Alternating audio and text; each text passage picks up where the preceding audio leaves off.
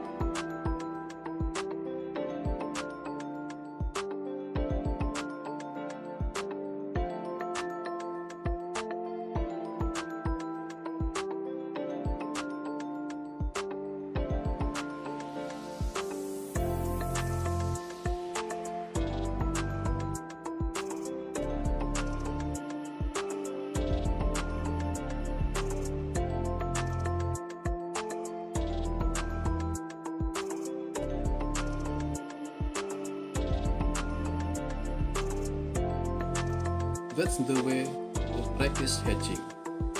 Have fun everybody!